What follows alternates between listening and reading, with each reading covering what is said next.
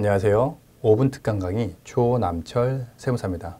이번 시간에는 법인 설립 10번째 시간으로 과점주주의 제2차 납세 의무에 대해 갖고 알려드리도록 하겠습니다. 자, 과점주주의 제2차 납세 의무 있습니다. 과점주주의 판단은 어떻게 할까요? 과점주주라는 것은 50%씩 보유하고 있다면 과점주주일까요? 자, 그렇지 않습니다.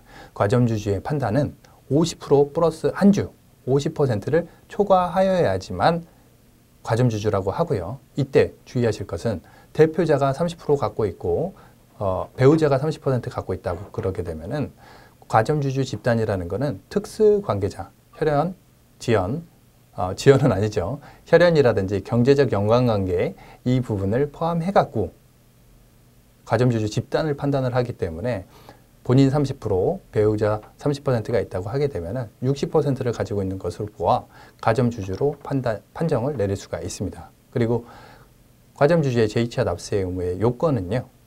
처음에 납세 의무 그 성립일 현재에 과점주주일 것이라는 요건이 있고요. 그 다음에 주된 납세 의무자가 법인이어야 된다는 요건이 있습니다. 그리고 법인의 재산으로 징수할 세액이 부족한 경우인데 인 요건이 있는데요. 결국은 세 가지 요건. 주된 납세 의무자가 법인, 법인일 것.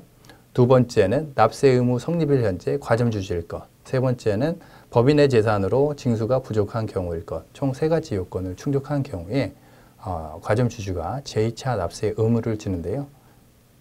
납세 의무를 지는 한도는요. 징수 부족액 곱하기 과점주주의 지분율입니다. 예를 들어 1억을 부가세를 체납을 했다고 하게 되면은요. 아까 같은 경우 대표 30%, 배우자 30%, 60%를 가지고 있기 때문에 1억의 60%인 6천만 원에 대해 갖고 어, 제2차 납세 의무를 진다고 보시면 되겠습니다. 자, 과점주주를 알아봤으니까요. 우선 과점주주 개념에서 발생될 수 있는 또 하나의 이슈가 간주취득세라는 개념에 대해서 간략하게 살펴보도록 하겠습니다.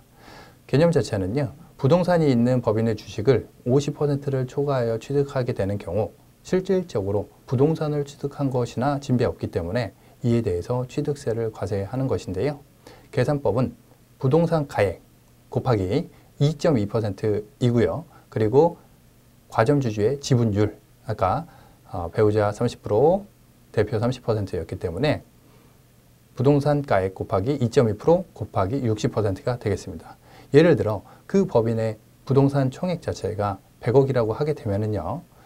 100억 곱하기 2.2% 하면은 2억 2천이잖아요.